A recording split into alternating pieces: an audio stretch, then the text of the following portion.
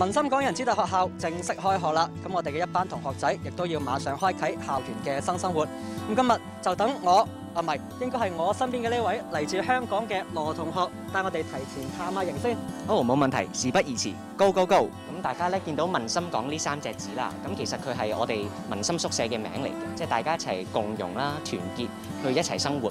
咁所以我都好期待喺呢度開展新嘅生活嘅。哇，唔錯喎！呢度嘅空間都好豐富，我好中意呢個設計，即係三人房嘅設計，好夠空間。啊，咁另外，哦，睇下呢個景。呢度咧可以近距離見到運動場啦，有跑道，又有誒足球場，聽講仲有誒室內嘅恆溫游泳池添。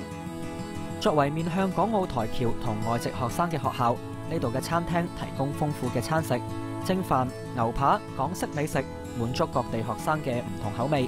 餐廳入邊仲有一部單車，學生通過運動發力就可以等榨汁機運作啦。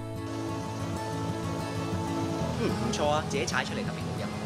羅奕陽話：作為土生土長嘅香港人，佢主動要求嚟民心學校就讀，唔單止係因為呢度有好嘅環境，更係被呢度香港根、中國心、世界觀嘅辦學宗旨所吸引。